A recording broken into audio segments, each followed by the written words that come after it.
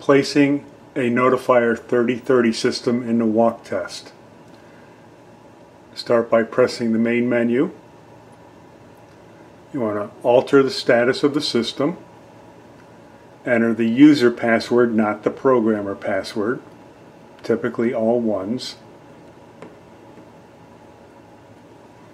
Accept. Alter status. Then walk test. You can leave this at basic. The silent audible is a future feature. Currently only audible is available.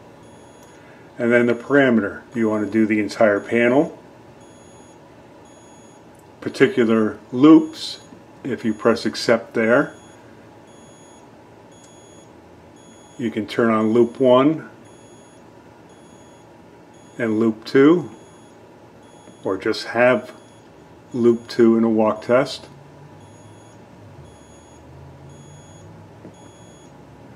Back to the parameters. Zones, you would have to know if a group of devices were connected or programmed uh, as a zone. Or you put individual devices into walk test.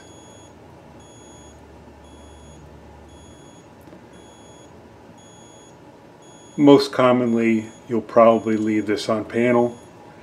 You press accept, then start test.